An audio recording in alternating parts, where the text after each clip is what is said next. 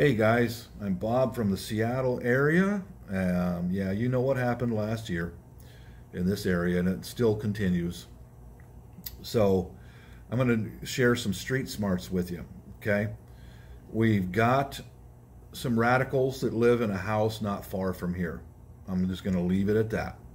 Their initials are Bravo Lima Michael. Okay, so today I saw some suspicious vehicles in town, and a lot of new faces are showing up. And these vehicles are from another state, the state just south of Washington. not all of them, but some of them are. So here we go. Let's get into street smarts. Today I came back from the market and I saw my neighbor down the street, the little hottie. She as she lives down there. She's got about a one-year-old son and she and I have discussed these topics before. She and her husband come from a, a, small town in the Cascade Mountains, and they don't have a lot of street smarts. I've been all over the planet, man. Three different continents I've lived on. So I'm going to share a little bit of my street smarts. And she asked me two questions and a statement. And the statement was the other night, a guy with a machete on his back paralleled her and her husband as they walked back from the market. And I said, "Well, did, what did you do?" Well, I was I was okay because my husband was with me. And I said, "What did? Where did you go?" And she says, "Oh, we went home." I said, "No, no, no, no, no, no. If somebody follows you in a car or on foot, don't go home. Go anywhere else but home." Okay, especially if you, you know if you're in a car, go to the local police station and pull in their parking lot.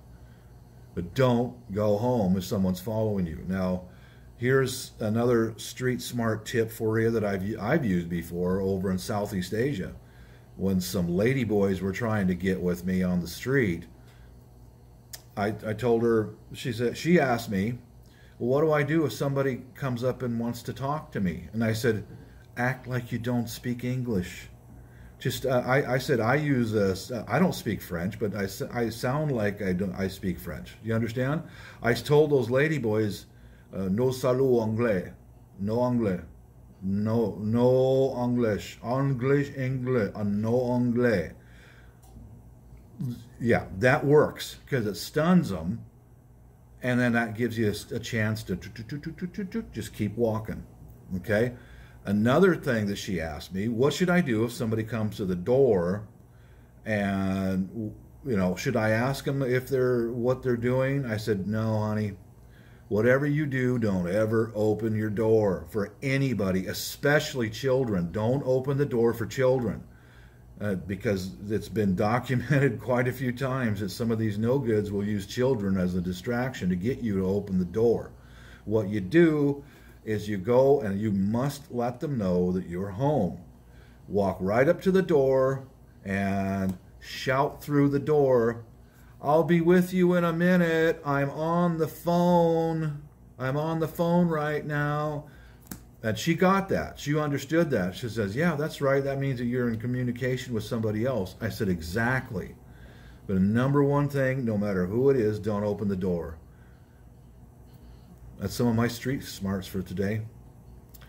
So stay safe out there, and uh, they're selecting a jury for the George Floyd trial right now, so you know what's going to happen to Washington Oregon. Later, all.